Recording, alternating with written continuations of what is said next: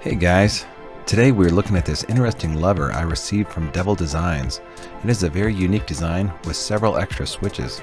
Where a traditional joystick uses four cardinal switches with the angle of the actuator triggering a combination of them to get the diagonals to register, this stick requires two switches pressed down for all inputs, including the cardinals, just to make things feel more consistent.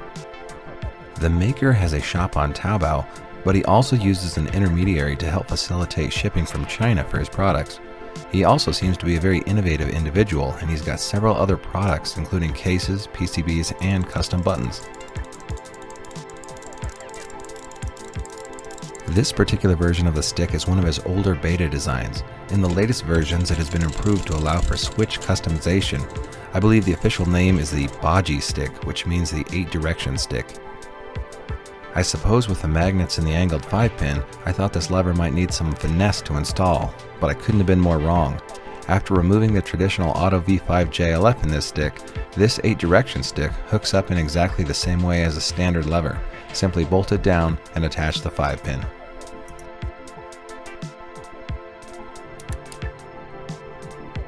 After I put the rest of the stick back together, I tried it out.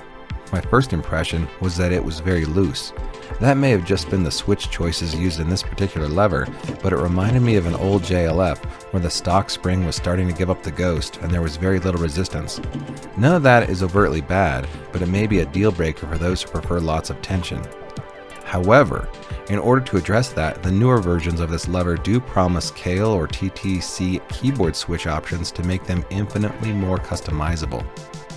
I also noticed that the sticks seem to have more clicks than the standard lever, now obviously there are more switches, but just walking the actuator around the gate felt fairly novel, and there was a soft and satisfying click just past every interior angle of the octagon.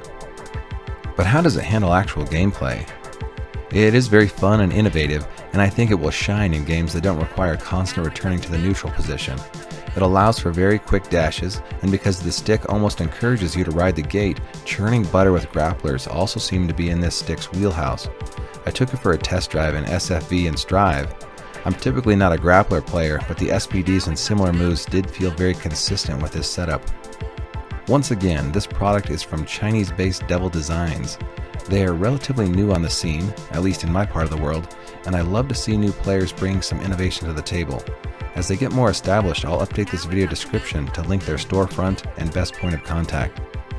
Maybe you all can help show them some love in the comments below and I can see about getting more of their wares stateside to review and showcase. Anyway, if you enjoyed the video, please leave a like.